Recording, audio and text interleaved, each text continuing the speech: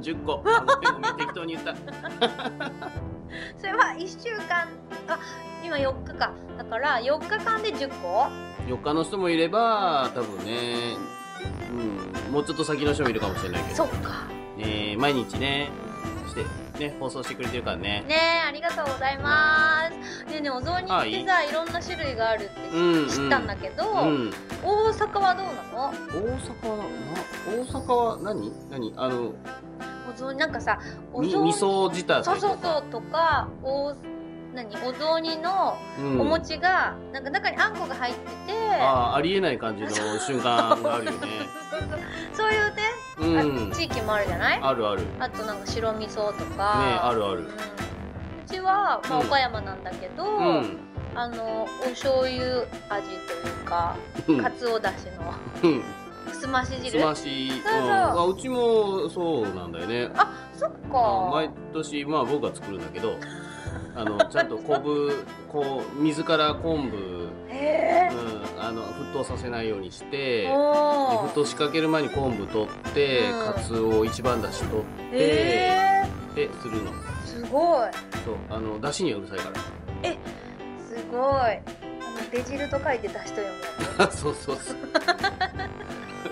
そう出汁とか言ってだしね。つ多分これ出してくれてる。なんかわかんないけど面白い。ね。えー、すごいちゃんとしてるんだねちゃんとするちゃんとする。うん。いやーさすがだなねーめでたい時は余計大事だよね。あそうだね。おせちとかも作ってんの？うんおせちはねううちのねうん。まあおじいちゃん子供からするとおじいちゃんかな。ううん。うんちの父親がね作る。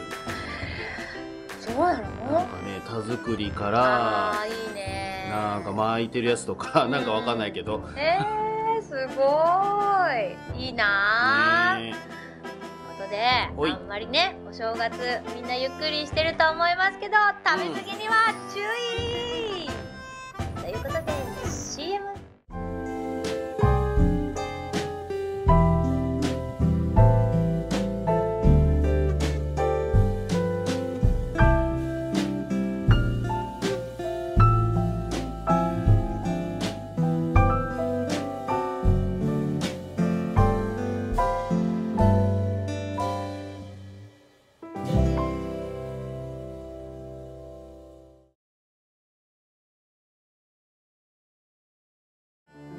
本物がやってきた。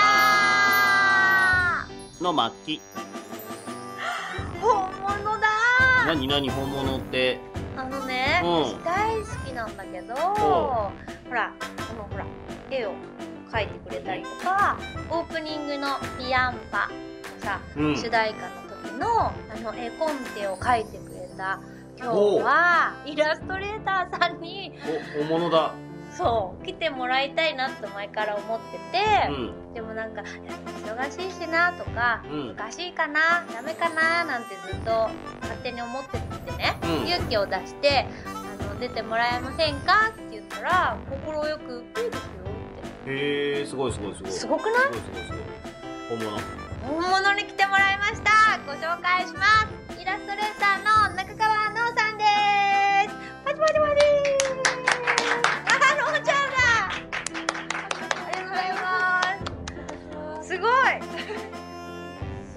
イエーイ猿年あ見えるかもし前あ見る見る。すごい。へえかわいい。ありがとうございます。ねえ今年猿年だね。猿年今年はどんな年にしたいですかのんちゃんは。今年はえっと楽しく絵を描いていきたいです。いいですね。ね。ねのんちゃんは今みたいなこのお猿さんみたいな、えのスタイルもあるし後ろなんと自分が描いた絵の中にいるという びっくりです。ねはい。どんな気分ですか？えー、あの絵描き冥利につきますね。すごうんいすそうですよね、不思議な感じだと思いますが私はのんちゃんと出会ったおかげで自分の周りがのんちゃんの子供だらけです。そうですよね。おかげさまで。ありがたいありがとうございます。いやいやありがとうございます。いろんなスタイルがあって一番最初の出会いは京都でだったんですけど京都のライブの時にのんちゃんがあの来てくださったというかスタッフさんといいますかあの縁の下の力持ちといいます。か ねお世話になってその時にあのライブをしている時に客席でライブをしていたんです。それはなぜか何かというとこういうねタッチのドローイングっていうんですか？はいドローイングですね。ちょっと見てもらおうかなここで。せーのドンということでこれは私感激したんですけどのんちゃんが私の今名刺にもなってるんですけどのんちゃんが私を初めて描いてくれたまだ着物を着ていないワンピースを着ていて演奏している私でございます。黒いドレスでしたね。すごいすごい可愛らしくって。ありがとうございます。はい。楽しく感じました、ねえそれをなんというかこの線えっと先日もなんとライブに来てもらっていいですか、はい、はい、もちろんです。これ。こんな感じ。おおはい。ねこれこ坂上の前の、ねうん共演者の坂上涼さんなんですけど、はいどれがいいかな？そうですね。えっ、とおお二人が演奏されてる姿で手前にね。東山海さうんの絵があったりその2人でやるあの坂上さんとご一緒する時は東山海さんの絵からインスパイアされて書いた曲をたくさんお届けするっていうプロジェクト、えーやってましてそれをこの前大阪でねさせていただいた時に来てくださってささささって書かれるわけですよ。でのんちゃんのほら絵見ててすごくない？ねこれあのトゥック A あの立体に描けない人だから尊敬だよねすごいよね。うんでねなんかこの線だけでなんていうか表情がすごいんだよね。ありがとうございます全部おしゃれさおしゃれおしゃれだよね。おしゃれ感漂ってるうん、なんかさ私だったらつなげて描いちゃう。うんななんていうの？わかるわかでこの線がないこのほら顔だ顔ないんだよこれ輪郭が。るうん。うんなのになんというか想像するというかあイマジネーションじゃん？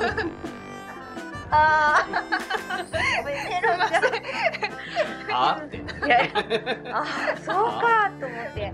なんかやりながらいつも気づくことがね私多いんです。イマジネーションは広がるし全部が書かれてないというところがまたねうん。その見る人の想像力をかきたてると言いますか。だってりょうくん見たことない人だったらもしかして丸顔かもしれないよ。ね。なんかすごくあの想像するところを残してもらっているというか線だけで、ね、私もうん。勝手に一緒にこうん。うコラボをしてるようなライブをしてるような感覚でこういうドローイングは描いてます。ね、ねこの技法っていうのはあのなんかこう始まりがあったりとかするんですか、私が、うん。えっと、昔働いてたお店が、MD カフェって言ってミュージックデリバリーカフェであの毎週のようにライブをしてたんです。へえでその時に私絵描くの好きやったんで、うん。あのいろいろ描いてて、うんうんうんうん。でみんなにおいいいいんちゃうか？みたいなことを言われてでこういうスタイルが生まれてきた。そうなんだ。はい。えじゃあのんちゃんスタイルってこと？すごですね。すごい。もう何回も見せますけどピアノ弾いてると私こんな感じありがとうございます。いやーこれいいわー。シャレオツね。ね。で ね。こういうおしゃれでなんかこうほんとアーティスティックな線で表現するっていうのもされるんですけどこんなのもあります。あドンかな？ドン。この絵が実はクリアファイルになってます。ね。ちょっとその原画の方を見せる前にこの今出てる絵の元といいますかね。それをちょっと見てもらおうと思いますが。じゃあちょっとこれのんちゃん出してください。え見えるかな？じじゃーん。そしてこっちがさっき出てるやつ。の原画。じゃーん。こんなに違うという。美穂さんとピャンパさんとキャッチボールをして、うん。こういう風にこう作り上げていきましたよね。すごい嬉しくてこうなんか仕上がってくるのを見せていただいてもう画像を見て叫んじゃいました。かわいい。みたいな。で実はこの時まだまあごめんねトゥックっていうそのキャラクターというか猫ちゃんはまだね生まれてなかったでもなんとなくここにね猫ちゃんがいたりいろんな動物がいたりっていうのをのんちゃんがイマジネーション膨らませてくれて。でここに5000のリボンがあるんですけどあのここにね音符を書いてくださいって言ってくださって音符を書いたんですよね。でその音符はなんと、えっと空ノートでも取り組んでいる私の作曲家シエルっていう曲の中のみんなでコーラスする部分があるんですけど「ララララ」っていうところの音符が書いてあるっていう。私ものーちゃんの絵の中に一筆入れさせて いただいたそんな感じなんですけれども。ね。でこれが実は100枚限定でクリアファイルとして出させてもらって実はこの原画はうちにも飾ってあります。でこれ100枚完売したんですよ。あっという間に、うん、でそして第2作目。第2弾にトゥックが出てきています。せーのドン今日急に私が大人っぽくなった感じなんですけれどもねクもなんかちょっと背が伸びたあ感じ。そうそうそうそう。ちょっとシュッとしてる感ちょっじだとねね男前にしてくれたそうそうそうそう。えこれももうほぼ完売です。そうなんですね。うん。すごい。であの WGT であった私の去年の誕生日の時に間に合わせてもらってで来ていただいたお客様には実は、えープレゼントさせていただいたんですけれども、えーその他は、えー500円で。税込み500円で販売させていただいておりますがもうすごい人気ですぐねみんなが手に取っていただいてあの買っていってくれるんですごいすごい嬉しい。私も嬉しい。あーやったーどうですか？のんちゃんはこういうドローイングのねはい。の時とこういうこれはもう全部線で描いていらっしゃいますけどこういうその技法の違いっていうかその時は自分の中で線分けあのスイッチ分けてたりするんですか？うーん。ドローイングは、うんそのライブの時に、うん私の日記のような感じで気持ち的には書いてるんです。なるほど。日記だって。ね。いい表現だね今ねね。日記がてら絵描けるっていいよね。いい。ね。なるほどな。ーそっか。そうですね。なんかそんなにだからこう絵を描いてるっていう気持ちはそんなになくって、うんうんうん。うんなんか自分の気持ちを綴ってるような感じでドローイングは描いてますね。うーん。へえすごい。なんかもうへえって感じ。ですいやーね。こうね。こういうやつあの、うん。こういう絵を描かせていただくときは、私はあのこうその人に合わせて、えー、と絵を描きたいと思ってるんで、うん。美穂さんの、ん。あのなんていうかすごい色彩豊かな音楽であったり人柄であったりを、うん。あの絵に起こしたらこんな風になるかなっていうイメージであーありがとうございますちゃんは私の音も聞いてくださっているのですごく信頼もあってなのでねチラシも今回はいつもあのこうアーティスト写真とかこう使ってこういう感じの。そんな写真がねもうこんなお花とかもこんなねじゃなくてもみたいな写真を使ってたりしてあのチラシをやってるんですけど今回は思い切ってと言いますかなんかのんちゃんの絵が大好きなのであのチラシもたくさんねあのお願いしていって見てもらおうかな。ン。ね去年あったセノミホオーケストラっていう大きな大きなコンサートだったんですけどこのチラシを手掛けていただきましてこれもね人気でたくさん持っていかれましたよ 嬉しい。そうそう。で意外とあの来てくださる人にはチラシが届いてなくてあのなんだ会場とかいっぱい置いてあるじゃないですか気になる人は取っていくから逆にそのまだもらってないとか言って。で会場で逆に配ったりとかして。そうなんですよ。すごいありがたいですね。そんな感じでいろんな、えー、なんか技法といいますか。なのでいろんなもの持ってますよね。そうですか、ね、だってねだってねちょっと見せてもいいですか？ちょっと見たい？うん見る見る。だってねほらこれ私ね先日もらったんです。お。こまあすごいね。れひよしくんのあとはい。CD これのなんと絵もはいジャケットデザインから絵からさせてもらって。すごい。やっぱこの絵を描く時って先にあの音を聞いてから？あかなあのなるべくそういう風にしてます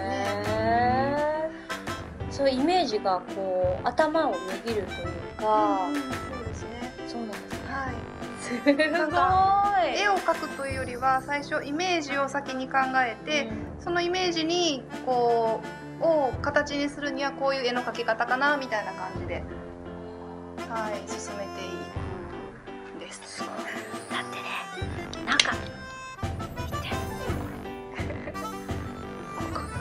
あ見えるかな？あまさかの緑だけど。下はそうね。下は色。まあ深いから。どう？トゥックってさ色のお勉強してたでしょ、うん。してた。こうのんさんの色から感じ取るものとかってある、感じ取るもの。あのねいや結構こう絵を見せてもらうと、うん。その人その人でこう同じテイスト感はあるんだけど色彩感は若干ずつ違うみたいな多分、そのアーティストの人とかをやっぱりさっき話したみたいに見てるからかなと思うんだよね、うんそうそうあそうだからなんかね今の CD ジャケットとかどんなイメージで描いてるの？かすごい気になったこれ聞きたい。どんなどんなイメージで描いたんですか？あーこの日吉君、あうん。ピアニスト日吉直之さんっていう方のうんうん CD なんですけど、私の中で彼の音っていうのはなんていうか重こう重厚の中にもちょっと繊細さがあるっていうかあんまりカラフルなイメージではなくうんて、うん。モノクロームの中にちょっとこう色が入ってるようなへ雰囲え気、まあちょっと言葉に表すのは難しいですけど、うん。なんで色を抑えての中で表現したいなって、ねなんかピアンパのはすごいカラフルで、うんうん。なんかねあのそうだよね。ピアンパ、まあ、せん美穂ちゃんそのままみたいな感じがするけど、うんやっぱちょちょっとその辺が違うのは、うん。なんか逆にすごいなと思って。あー。えーどうしようどうしようありがとうございます。これもだよこれも。ねそうそうそうこれもそうそう思ったの。全然違う人が描いたみたいに思うっていうね。ねしかもこれ点描何そうなん秒です。点々点々。はい点々で。えっとねちょっといいですか？はい。この中の CD ジャケットの方が分かりやすいかもしれない、CD の方があ本当だ。わかりますかね？おいいはいえー、点々。点々で書いてるんですで書いてるんですけど、うん。あんまりなんていうかその点々が目立ちすぎてもと思って、えっと、ジャケットメインの方はあんまり目立たないようにしてるんですけど、あー。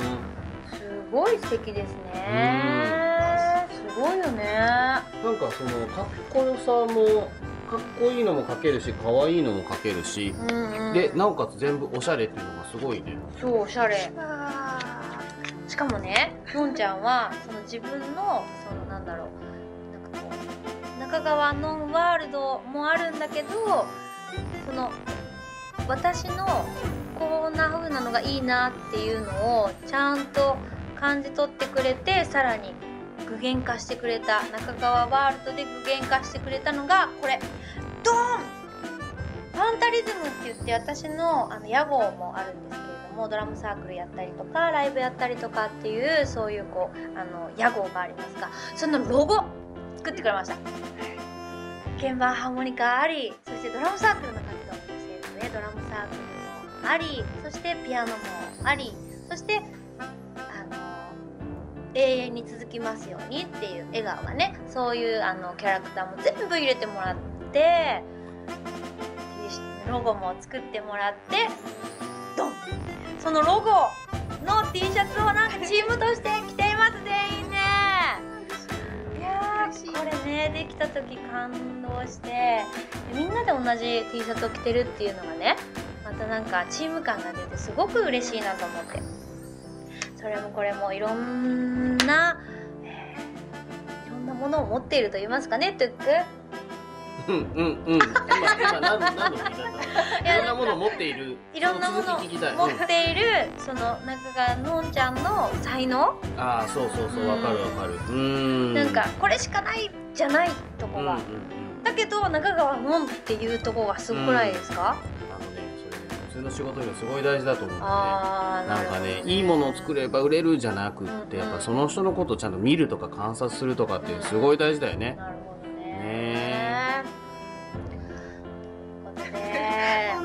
られすぎてどうしたらいいか。さあさあさあそんなねのんちゃんお正月ですけれども。お正月ということで私一曲「レッツトライ」のコーナーでお正月弾いてみたいと思います。なんと黒いとこだけで一本指で弾いちゃいます。今日ねお家にいる人ぜひ弾いてみてください。それではレッツトライ。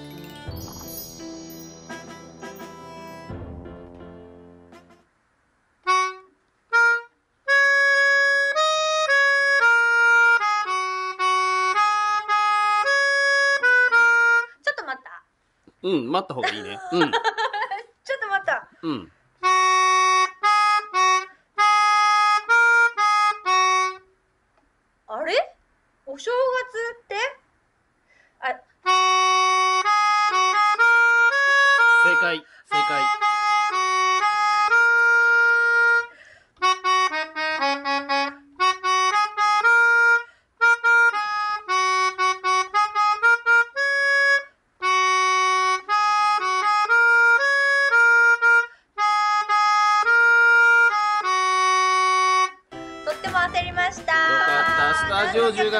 きました。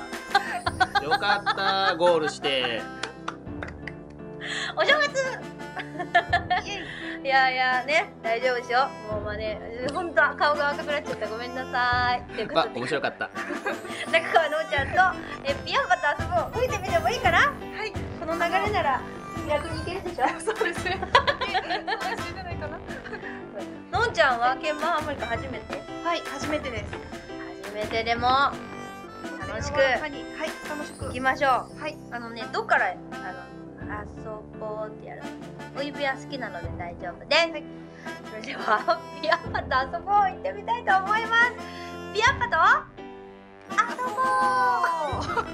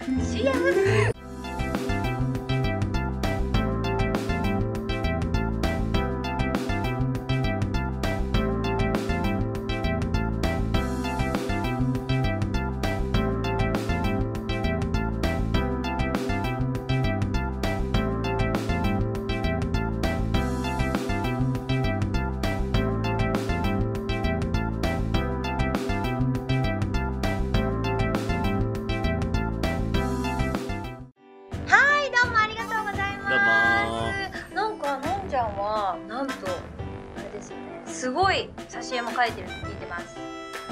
はい。なんかあの 私刑事物すっごい大好きなんですけどなんですめちゃくちゃ大好きなんです。なんと9係はい。の台本はい。の挿絵をはい描いてるということですごいですね。楽しいですね現場とか行くとうわーいいな